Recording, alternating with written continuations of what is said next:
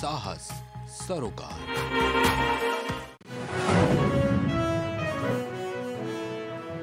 मन की बात के लिए प्रधानमंत्री मोदी की अपील, देश की जनता शेयर करे अपने विचार।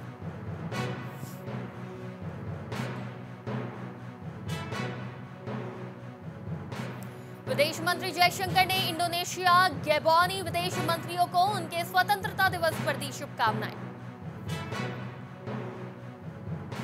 सुप्रीम कोर्ट ने सरकार से कहा, फीफा द्वारा एआईएफएफ का निलंबन हटवाएँ अंडर 17 विश्व कप का आयोजन सुनिश्चित करें। ओडिशा में बाढ़ की स्थिति गंभीर, हीराकुंड बाँध के 40 फाटक खुले 10 जिलों में बारिश का high alert Abu Dhabi night riders ने की टीम की घोषणा, कैरिबियाई खिलाड़ियों को दिखेगा दम।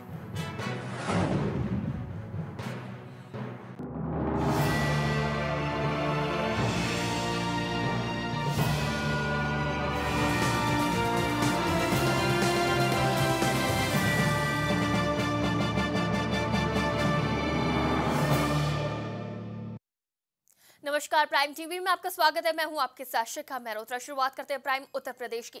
कुशीनगर में कसिया थाना क्षेत्र में भारतवर्ष की स्वतंत्रता के 75 साल पूरे होने पर पुलिस अधिकारियों ने तिरंगा रूट मार्च किया। इसके साथ ही पुलिस अधिकारियों के द्वारा इस तिरंगा यात्रा के दौरान आम लोगों को जागरूक किया गया। इस दौरान अधिकारी सदर कुंदन कुमार सिंह और सांसद प्रतिनिधि के साथ विधायक प्रतिनिधि ने अपनी मौजूदगी दर्ज कराई।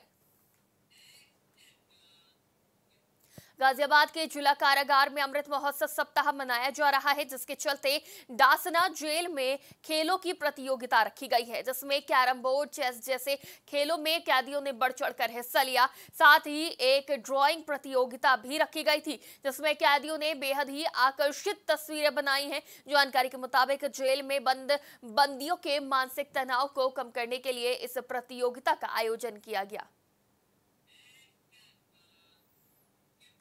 संभल में हिंद स्टेडियम में एनसीसी कैंडिडेट्स की भर्ती के लिए चयन प्रक्रिया का आयोजन किया गया। इस अवसर पर काफ़ी संख्या में कॉलेज के विद्यार्थी शारीरिक परीक्षा के लिए मौजूद रहे। वहीं पर कॉलेज के वाइस प्रिंसिपल ने बताया कि हर साल कॉलेज में एनसीसी कैंडिडेट्स के लिए विद्यार्थियों का चयन किया जाता है। इस बार चौवालीस छात्रों को एनसीसी कैडेट के तहत भर्ती किया जाएगा।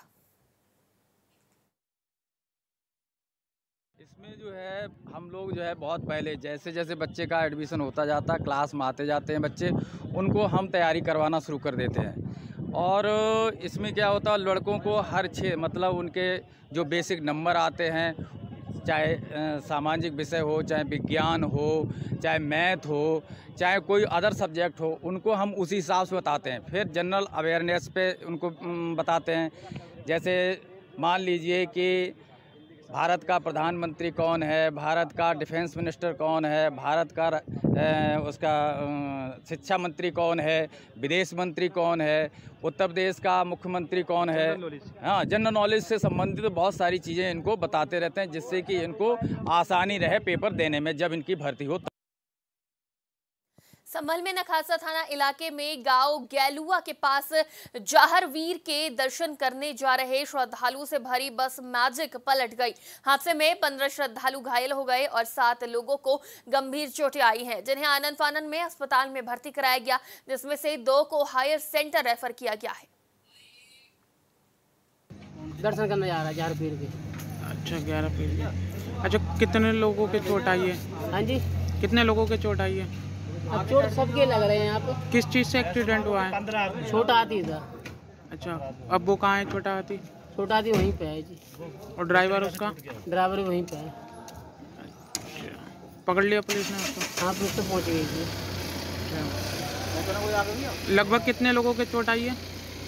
अब बड़ी जगह आगे जाकर जब अंदर आऊँगा। गाजियाबाद के थाना कविनगर क्षेत्र के लाल कुआ रोड पर एक रिहायशी मकान में अचानक आग लग गई। आग लगने से आसपास के लोगों में दहशत फैल गई। सूचना पर पहुँची फायर ब्रिगेड की टीम ने कड़ी मशक्कत के बाद आग पर काबू पाया। गनीमत रही कि इस हादसे में किसी को कोई नुकसान नहीं पहुँचा।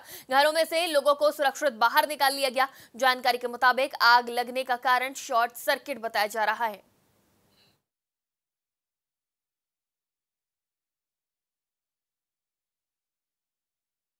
लगभग छः बज चालीस मिनट पे सूचना मिली कि लाल कुआँ में एक मकान में आग लगी है।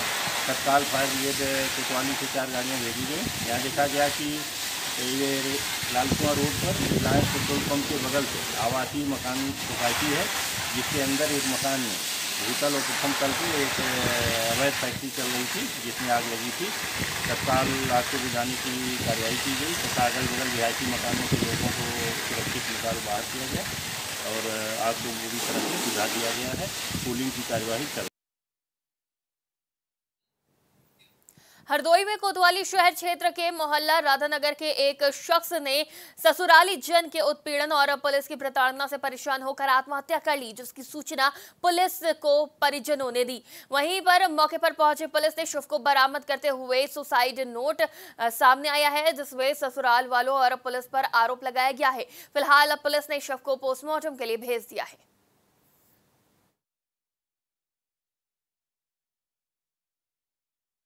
उसने अपनी पत्नी के साथ परसों चौदह तारीख को मारपीट की थी, और जिसमें पुलिस भी बुलाई गई थी।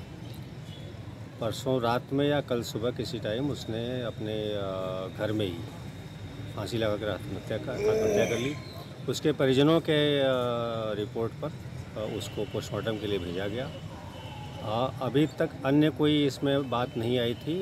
कि कुछ मीडिया चैनलों में खबर चल रही है कि कोई सुसाइड नोट मिला है जिसमें उसके पत्नी और पत्नी के घर वालों को और साथ में पुलिस को दोषी ठहराया गया है। अभी तक आधिकारिक रूप से हमारे पास कोई भी शिकायत या कोई सूचना नहीं प्राप्त हुई है। बुलंदशहर में एक युवती ने प्रेमी और अपने परिवार वालों के साथ मिलकर अपने ही पति की हत्या कर दी।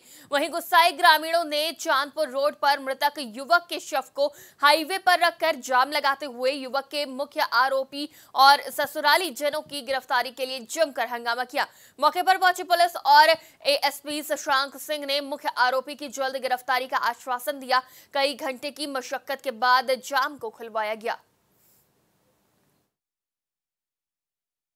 मेरा नाम कृष्ण कुमार है। अच्छा क्या मामला था? मामला ये था कि मेरे भाई को मेरा भाई गया था ससुराल। वहाँ उसको चार लोग मतलब मेरे भाभी ने मेरी भाभी की बहन ने और कन्हैया सिंह ने और कन्हैया सिंह के संग किसी और एक अज्ञात व्यक्ति था। और उनके साथ में उनके ससुर भी थे।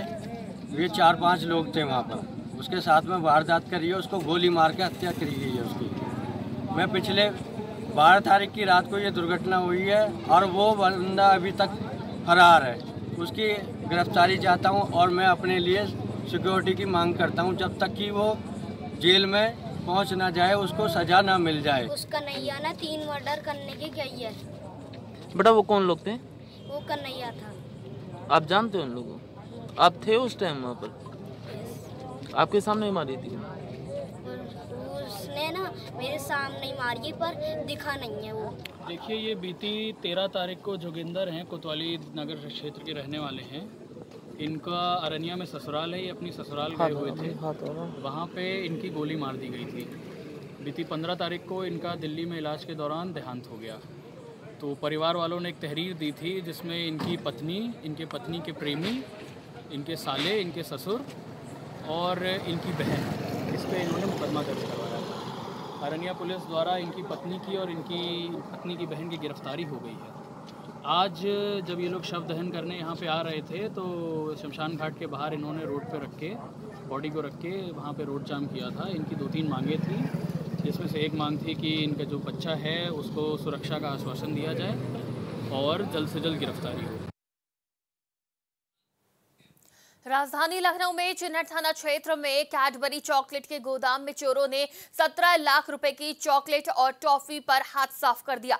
जानकारी के मुताबिक 15 अगस्त की रात को चोरों ने इस बड़ी चोरी को अंजाम दिया। चोरी करने के बाद चोरों ने सीसीटीवी, डीवीआर और घर का कुछ सामान भी चुरा ले गए। सूचना मिलने पर पहुँचे गोदाम मालिक राजवेंद्र सिंह सिद्धू ने चिन्हट थाने में आईपीसी की धारा तीन सौ अस्सी में मुकदमा दर्ज कराया।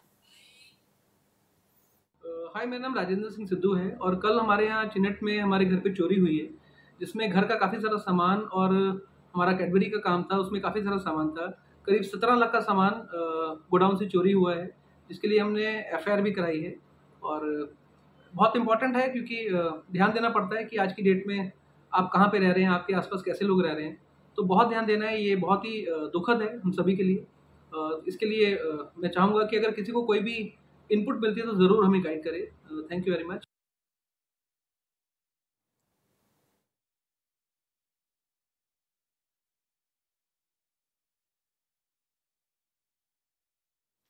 prime Uttar Pradesh में फ़िलहाल इतना ही। देश दुनिया की तमाम खबरों के लिए देखते रहिए प्राइम टीवी